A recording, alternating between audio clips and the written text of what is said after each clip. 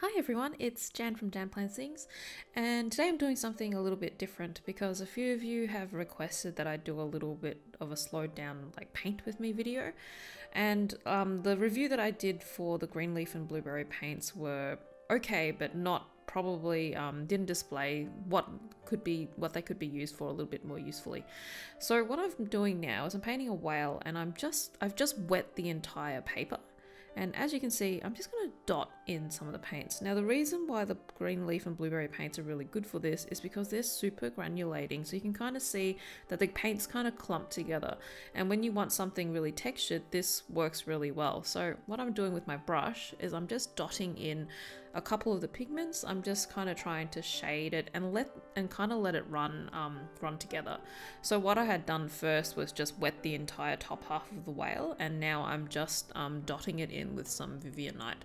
And I'll be doing this throughout the entire painting just to get a little bit um, of variation. So I'm just using my brush to sometimes blend some of the colors together and sometimes the paint pulls a little bit in the middle so you'll see me use a napkin to sponge some of that paint off and I'm mixing a little bit of the Vivianite with the Magnetite from the Greenleaf and Blueberry set, which is an extremely granulating paint, and you kind of would have seen me pointed out in the last review um, video with Ariel.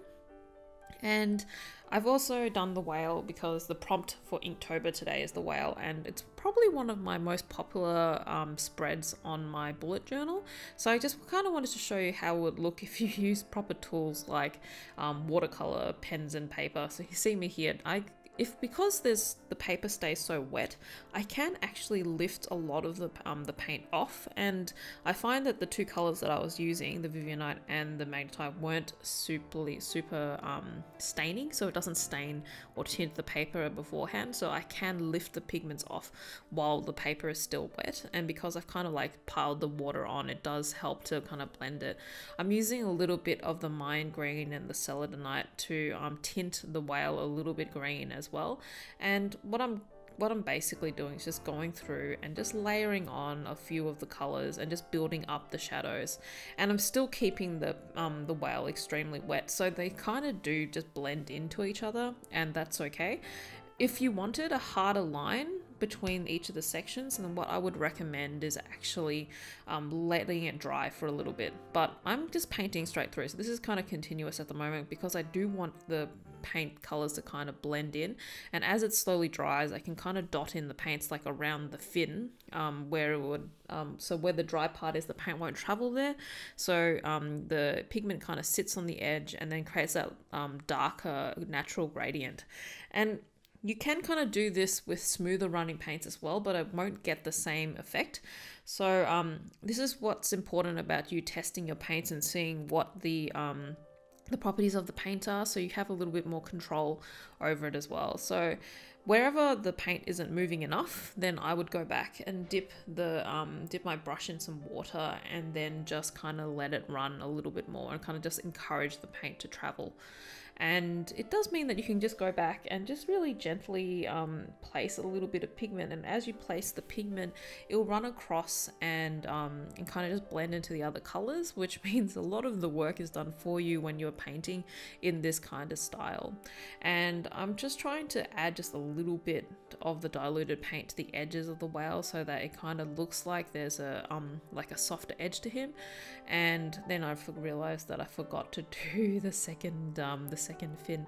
But um, you can kind of see because the stomach had dried already, and when I um, added that extra grey to the underneath of the whale, you can see how the colours, the pigments is kind of bunched at the top, and that creates some really um, excellent natural lines or barriers between the paints. And you can also see that on the spine of the whale because I had to let that area dry a little bit. When I ran my brush along it, you've got this um, much stronger line. I'm using the Holbein um, gouache at the moment. Um, it's called Brilliant Gold, and I've been I've been really enjoying using it. It's very different from the Finetec um, uh, the Finetecs that you've seen me use in the past because the paints disperse a lot better along the paper. So once it's wet, it kind of just travels across the entire thing. So um, the glitter slowly like moves out onto the paper compared to the Finetec. I think um, the Finetec when you use it, the pigment just stays in one spot so it's kind of it doesn't really blend outwards and you can really see the brush strokes. Whereas I think you can mix this Holbein with um, a lot of water and it kind of just disperses really nicely.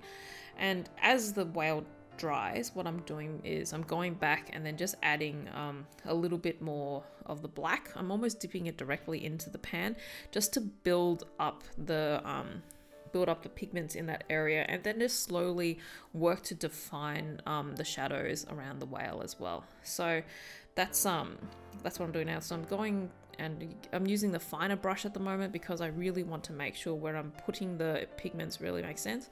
I'm using a white gouache here because I kind of just wanted to blend. Um, what I could have done at the beginning to create that mouth was actually lift that part of the pigment off with some with a wet brush and like a napkin or something. But um, because I was quite happy with how the paints were bleeding in that area, um, I'm doing with gouache instead. The gouache does kind of, it can look a little bit murky, so it doesn't look as nice as if I had lifted the, um, the pigment off to get that natural line. Um, so that's something that you might want to consider trying um, if, if that's what you like doing. But I find that this, um, this works pretty well as well if you're a bit impatient like me. And because the painting is still quite wet, it will slowly just kind of bleed into the, um, into the other pigments to get that really soft color.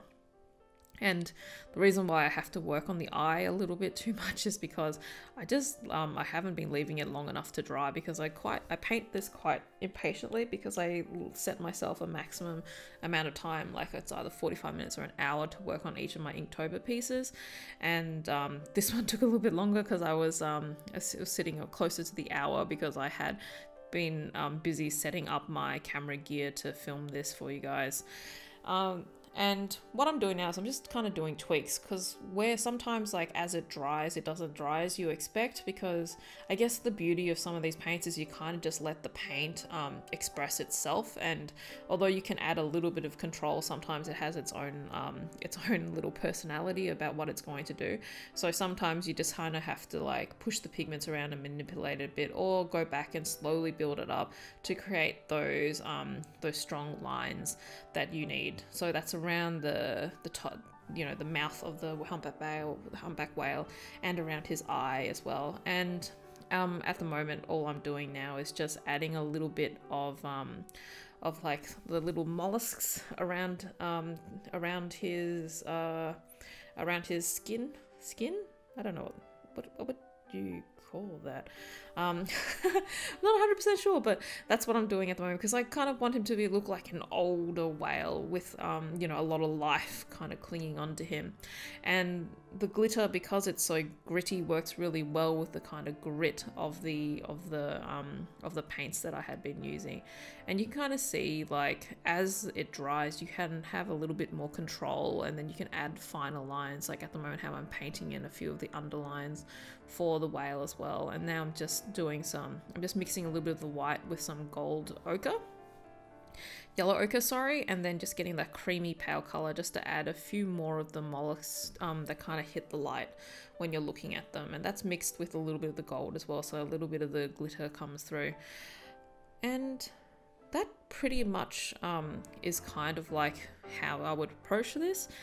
And because the pigments go towards the edge, you don't really have to line it afterwards. I mean, you can if you want, but I find that if you're using quite a granulating paint, it will create a natural barrier that looks really, really lovely and is quite unique to watercolor pigments, and especially watercolor pigments that are gemstone based or earth based that kind of have their own little life.